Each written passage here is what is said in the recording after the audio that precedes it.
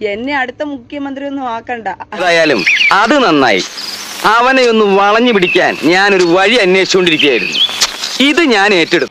മുഖ്യമന്ത്രി ആയിട്ട് എന്നാ ചെയ്യാനാ? കൈയിട്ട് വരാനോ? ഞാൻ എങ്ങനെയെങ്കിലും ഒന്ന് ജീവിച്ചോട്ടെ അങ്ങനെ നിങ്ങൾ ജീവിക്കാൻ ഞങ്ങൾ സമ്മതിക്കൂല. സമ്മതിക്കോ? ഇല്ല!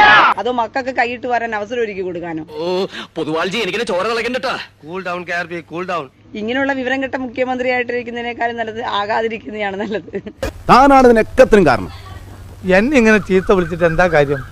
ഇനി അങ്ങോട്ടുള്ള കാര്യങ്ങളെ പറ്റി ചിന്തിക്കുക. മുഖ്യമന്ത്രിക്ക് എന്ന ഒരു പദവിക്കൊക്കെ ഒരു ബഹുമാനവും ഒരു ആദരവും ഒക്കെ ഉള്ളതാ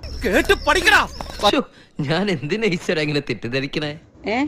ജനത്തിന്റെ ഇടത്തിൽ ഇറങ്ങിപ്പോകാനും അവരോടൊപ്പം ആയിരിക്കാനുമുള്ള ഒരു നല്ല മുഖമെങ്കിലും വേണം മുഖ്യമന്ത്രി. ഞാൻ കൂളിംഗ് ക്ലാസ് എടുത്തില്ല.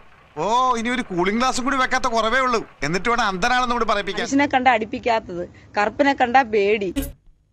അതൊക്കെ ഗോപാലകൃഷ്ണൻ ഒരു നമ്പർ അല്ലേ പറച്ചിൽ മാത്രമേ ഉള്ളൂ ഊരിപ്പിടിച്ച വാർഡുകളിലൂടെ കയറി നടക്കൂ എന്നൊക്കെ പറഞ്ഞിട്ട്. ഗുണ്ടയാണല്ലേ? ബെസ്റ്റ് ഓഫ് ലക്ക് ഈ പണ്ട് ഡ്രാമയ്ക്കകത്ത് രണ്ട് പ്ലാസ്റ്റിക് വാളുകളൊക്കെ വെച്ചിട്ട് ആൾക്കാർ ഡ്രാമ കാണിക്കുമല്ലോ. അതിനിടയിലൂടെ പോയ കഥയൊക്കെ ഓർത്തിട്ടിരുന്ന് അടിച്ചു വിടുന്ന ഡയലോഗുകളാ. അലർജിയാണ് അലർജി. ആഭ്യന്തര വകുപ്പ് എന്ന് പറയുന്നത് കൈയിട്ട് വാരി തന്റെ ഇഷ്ടത്തിന് പ്രവർത്തിക്കാനുള്ള ഒന്നല്ല. അദ്ദേഹത്തെ പറ്റി പറയുമ്പോൾ കണ്ണു തെറ്റിയാൽ കണ്ണിലെ കൃഷ്ണമണി വരെ കട്ടോണ്ട് പോകുന്ന പെരുങ്കള്ളൻ.